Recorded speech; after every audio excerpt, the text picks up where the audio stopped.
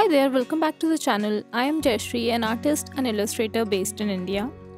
And in this video, I'm going to tell you 5 things to keep in mind while you're working in layers with gouache.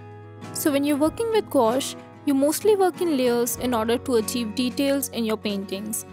So the first thing to keep in mind while painting with gouache is that the consistency of your paints should be thick and if you add too much water to the paints, it will lose its opacity and when you're painting in layers, you need the paints to be opaque.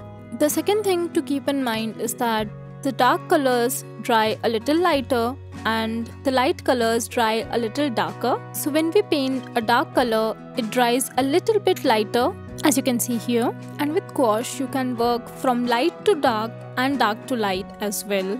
I will explain this during this process. As you can see, I am working with darker paints on a lighter background and we can work as efficiently in the opposite direction as well.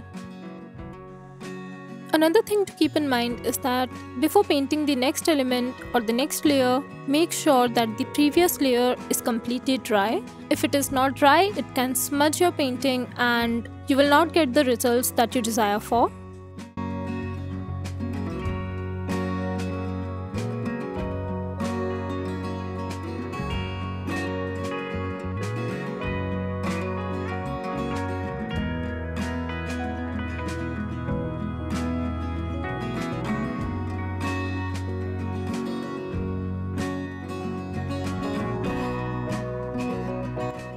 So for this background I have mixed olive green color with black and here I will show you how you can start painting with darker colors and move upward to lighter colors.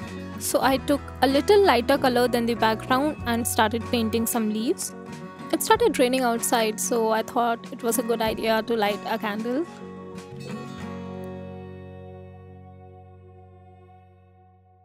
While this layer is drying, we'll work on the details with the darker shades of the used colors on the flowers and the leaves.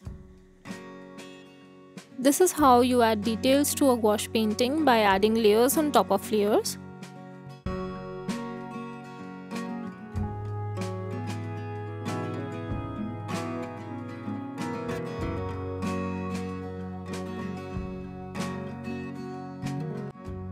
So for this painting, at every layer we are taking a lighter shade of the same color and layering the leaves on top of the previous ones.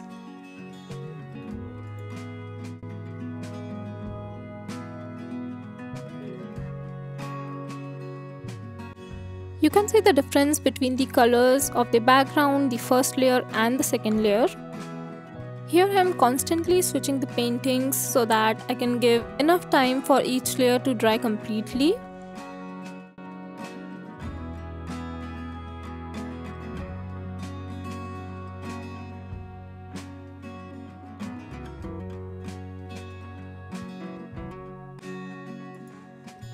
While working with gouache, you have to make sure that you're confident with every brush stroke because you cannot undo it and uh, you cannot just erase it or smudge it and mix it with the background or anything. You have to paint over it and it may not look as good as the first time. And I'm just filling out some of the empty spaces with flowers and details.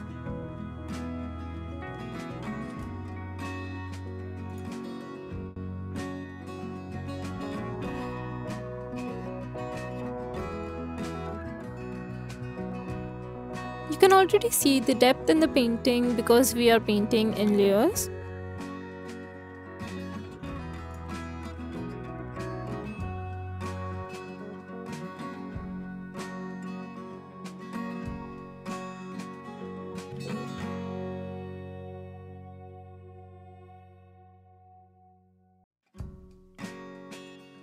Here is the lightest shade of the green that I will be using and you can see the difference between the darkest and the lightest color. And this is the last layer of the leaves that we will paint in this painting.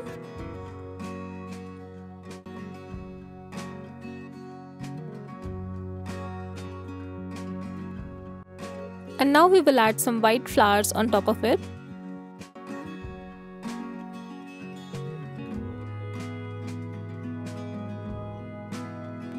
You can see the consistency of the paints and if it is too watery it will not give this effect and it will not stand out as much. So guys these are the final paintings and I really love the colors in these so guys this video was to show you how you can achieve great results and great effects by using layering in gouache. I hope you liked this video and if you have any questions or doubts you can comment below and I will get back to you as soon as possible. So guys if you are just starting out with gouache you can check out this video that I have created as an introduction to gouache and uh, you will get your answers there. And if you're new here please subscribe to the channel so guys thank you for watching and see you next time